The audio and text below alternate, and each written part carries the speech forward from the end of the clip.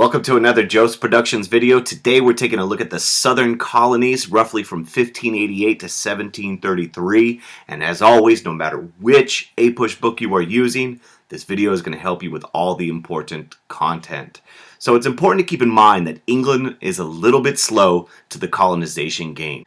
It wasn't until after England defeats the Spanish Armada in 1588 that England is really in a position of being powerful enough to challenge the other countries, especially Spain, and to begin the process of planting colonies. English colonization is going to be different for a variety of reasons, but one important one to keep in mind is that England was a Protestant country. We learned about in world history the Protestant Reformation, and England was a Protestant country, whereas Spain was largely Catholic. It's important to note the different types of colonies, how they're going to be paid for, and how they are run.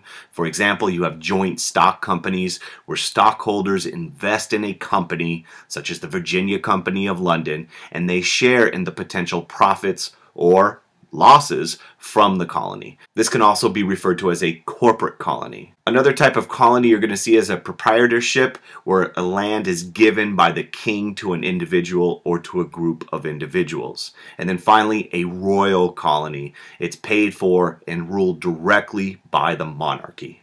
England's first attempt at colonization is not going to go well. The colony of Roanoke under Sir Walter Raleigh in 1587 in what is today North Carolina. In fact, Walter Raleigh goes back to Europe and when some individuals return in 1590, the colony is found to be deserted. All of the men and women are gone. England's first success in colonization of North America is going to take place in the Chesapeake and make sure you know this geographic region. The Chesapeake colonies are going to refer to Virginia and Maryland. It's really in the upper south. You could see that right there in the Chesapeake Bay. And the first permanent English colony in North America will be established at Jamestown in 1607. Its motive was wealth. The king, King James I, gives a charter to the colonists, and in 1607 they establish Jamestown.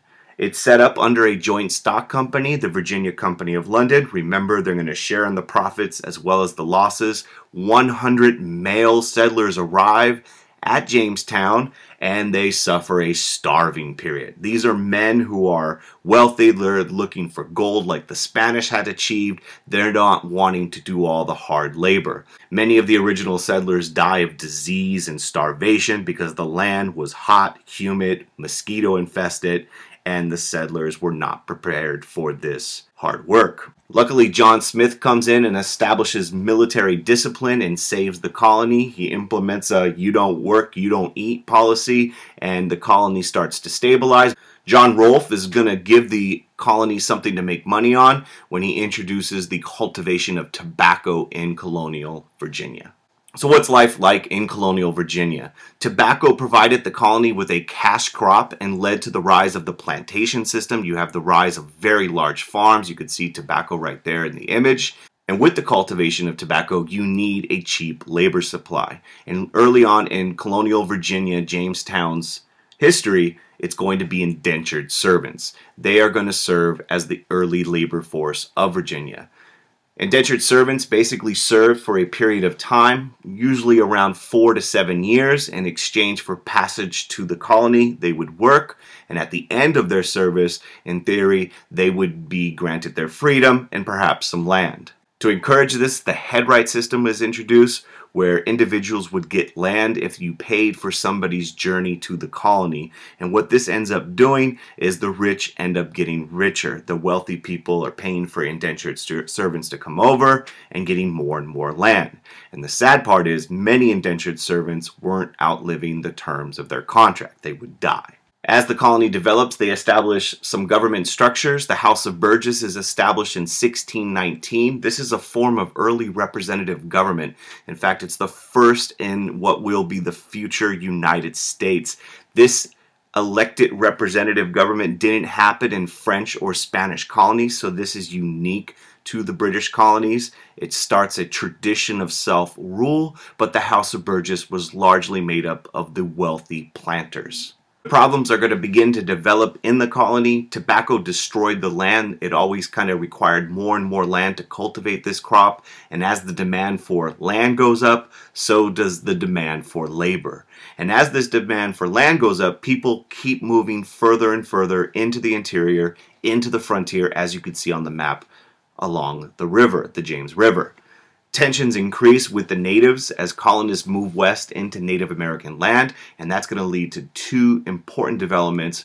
One, the relationship with Native Americans in the region, and the development of slavery. So, first things first, what was going on with the native people? There was a very hostile relationship that developed between the colonists and the Powhatan tribe. Powhatan was the chief in the area, and all the different tribes of the Chesapeake region kind of were lumped together under Chief Powhatan. As we already mentioned, tensions increased as the settlers moved west. You can see on the map the English settlements are very close to existing Native American settlements amongst the Powhatan Confederacy. A series of wars are going to break out between the years 1610 to 1646. These are collectively known as the Anglo-Powhatan Wars. The first one ends in 1614 with the marriage between Pocahontas and John Rolfe. They look nothing like that at all. Peace is temporary with this first known interracial union in Virginia. This was very rare for the English and the natives to intermarry and another war will begin with the massacre of 1622. Powhatan's Confederacy attacks in 1622, tired of the continual taking of their land and the decimation of their population by European diseases, and with the massacre of 1622, over 300 colonists are killed, which is about one third of the population. The war goes on for a while, and by 1624, Jamestown becomes a royal colony. The Virginia Company of London was bankrupt. The crown takes over colonial Virginia, and by 1646, the Powhatan Confederacy is largely defeated. And there's a variety of reasons why they are defeated, and it's largely due to disease, which had destroyed the population, disorganization. Keep in mind, these tribes were different, and so it was hard to put up a united front, and they were disposable in the minds of the English. They had no need for them, so they're going to wipe them out. It's important to note labor relations in colonial Virginia and the transition to slavery. We've already seen in the early period the primary labor source was indentured servants. But the problem was eventually these individuals were outliving their contract and making demands on the colony. The first Africans were brought into the colony in 1619 aboard a Dutch ship, but in this early period, indentured servants were the majority of the workers. So how does this change take place? Well, a very important event to keep in mind is Bacon's Rebellion. It takes place in 1676. Mmm, bacon. And it has nothing to do with the tasty food. Here is the background to it. There was growing frustration with a lack of land. In fact, many of these indentured servants were beginning to outlive the end of their contract and they wanted land. And Governor Berkeley, the governor of the colony, did not allow land hungry settlers to move too far west. You can see on the map why. Part of the reason is he wants to avoid clashes with Native Americans on the frontier. There also was frustration with the lack of political power. Remember, the House of Burgess was dominated by the plantation elite, so many of these former indentured servants had no political or economic opportunities in the colony. And finally, they wanted the government in Jamestown, the indentured servants and the free whites wanted the government in Jamestown to do something about Native American attacks on the frontier. Governor Berkeley was reluctant to do so because he was benefiting from a lucrative fur trade with Native Americans on the frontier, and all of these tensions erupt into something called Bacon's Rebellion. The leader of the rebellion is Nathaniel Bacon. He leads a group, a rebellion against the Indians on the frontier where they start randomly, indiscriminately killing Native Americans who had allegedly attacked the colonists, and they also move their frustrations to Jamestown where they burn down the capital. This is a big crisis in the colony. Nathaniel Bacon, I'd like to think, wore this bacon covered suit, but unfortunately for the rebels, Bacon suddenly dies of dysentery, the rebellion collapses, some of the rebels are hung, and peace comes to the colony. The impact of Bacon's rebellion would be huge. It would lead to a transition to African chattel slave labor. In other words, slavery based upon race, where individuals would be considered property. And the idea was you could not enslave the native people for a variety of reasons. Indentured servants were outliving their contracts and demanding things. They then switched to African slave labor. Bacon's Rebellion also reveals tensions in colonial society between the wealthy and the poor, as well as regions. Those poor farmers out in the frontier in the backcountry versus the more wealthy Tidewater elite in the east.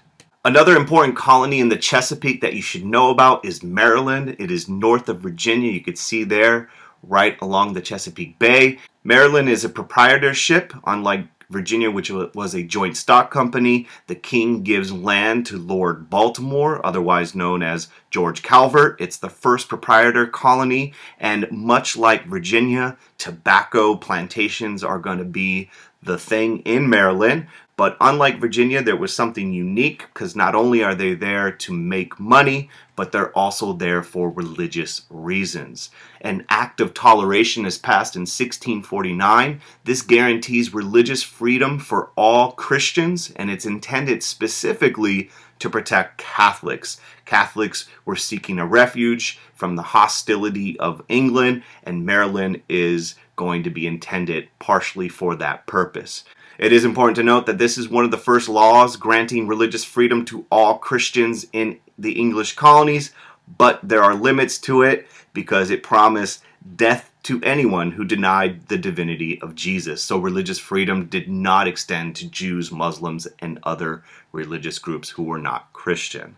Finally, the other colonies in the South, south of the Chesapeake region, we have North Carolina, South Carolina, and good old Georgia.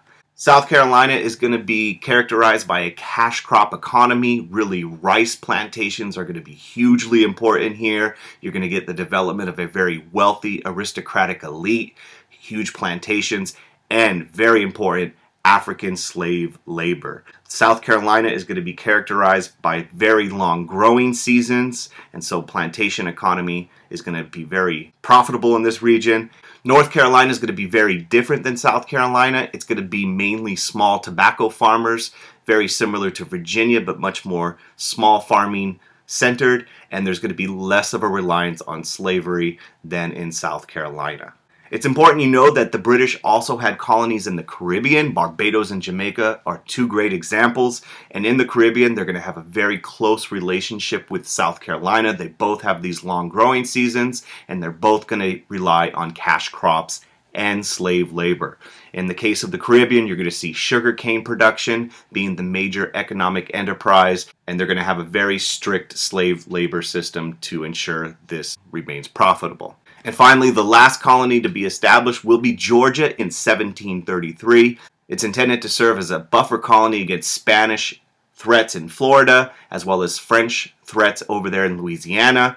Its original purpose was to serve as a penal colony for debtors, to kind of bring them over to the New World to start over. And originally, it banned slavery and the sale of rum. James Oglethorpe is one of its key figures early on in its period. He successfully defends the colony against the Spanish, but the problem is nobody really comes because of all these restrictions and the Spanish and French threat. So eventually they drop these restrictions and in 1752 it becomes a royal colony fully controlled by the British and it will become a plantation-based slave economy much like South Carolina.